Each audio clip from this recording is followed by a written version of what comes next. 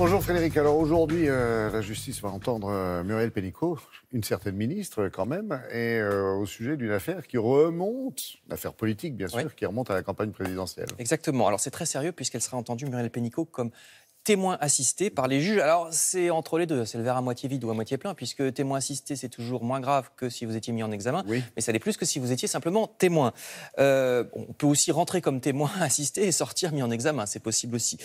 L'affaire en elle-même, vous le disiez, remonte à janvier 2016, le 6 janvier très exactement. À l'époque, Emmanuel Macron était ministre de l'économie et Muriel Pénicaud était la patronne de Business France, organisme qui fait la promotion de la France à l'étranger. Elle a donc organisé le déplacement d'Emmanuel Macron à Las Vegas au célèbre CES, le Consumer Electronics Show, qui est euh, l'immense rendez-vous annuel des techniques innovantes, où la France est souvent bien représentée. L'opération Oui. coûte plus de 380 000 euros. Et le problème, c'est que, euh, vous voyez, 381 000, c'est que c'est organisé sans appel d'offres, qui pourtant est obligatoire à partir de 200 et quelques mille. Donc là, on est largement au-dessus.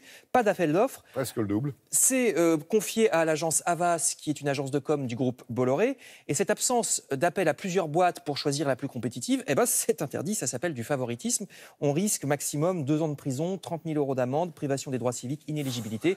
Si Muriel Pénicaud, bien sûr, en était reconnu coupable, ce qui n'est pas le cas pour l'instant, euh, c'est l'article 432 du Code pénal. Alors, si un ministre est mis en examen, ce qui n'est toujours pas le cas non plus, euh, il quitte le gouvernement. Si ça arrivait un jour, ce serait un coup dur dans la mesure où c'est la mise du travail et qu'il y a beaucoup de réformes qui touchent au travail. Euh, Muriel Pénicaud, elle dit qu'elle a découvert le problème qu'après coup, hein, qu'elle n'était pas au courant à ce moment-là que ça n'avait pas été fait dans les règles. Mais il y a certains mails internes à Business France qui disent exactement le contraire, qui disent qu'elle savait regarder ce mail d'une de ses collaboratrices. Muriel a été briefée par nos soins, mais elle ne fait rien. Donc, elle gérera aussi quand la Cour des comptes demandera des comptes à Business France. Ce Ah. ne sera pas faute d'avoir dit et redit. Mail qui date d'avant le, le- le congrès en question. hein. D'accord. Voilà.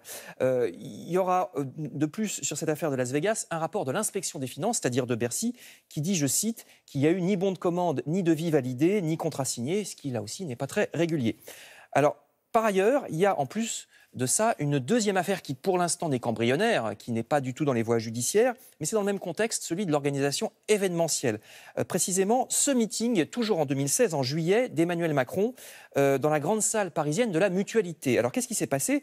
Il aurait bénéficié d'importantes ristournes de la part de, euh, de la boîte qui organise, qui gère la Mutualité, des ristournes qui en plus ont été accordées à lui et pas aux autres candidats à la présidentielle à l'époque. C'est ça le problème, parce que là aussi, on tombe dans du favoritisme, dans l'autre sens, si vous voulez. Euh, cette boîte s'appelle GL Evans, vous voyez, qui est une boîte de Lyon. C'est pour ça qu'on a vu le maire de Lyon. Et euh, surtout, il- ce qui s'est passé, c'est que, enfin, ce qui se serait passé, c'est que, vous voyez, depuis fauteuil Napoléon III, un retour d'ascenseur pour interrogation, cette boîte fournit aussi l'Élysée, en l'occurrence en fauteuil. Est-ce qu'il y a un retour d'ascenseur? Je t'ai fait une ristourne quand tu étais candidat, maintenant tu te fournis chez moi. Et encore une fois, rien n'est sûr. hein. Ça n'est que des soupçons. Ça a été révélé par la presse, notamment dans le Canard enchaîné. Il y a aussi les Bocuse d'or. Vous voyez les Bocuse d'or qui ont été organisés à l'Élysée. Alors, c'est pas anormal que le président de la République reçoive un concours prestigieux, mais regardez, le directeur de GL Evans, pendant la campagne, a fait partie de l'équipe Macron.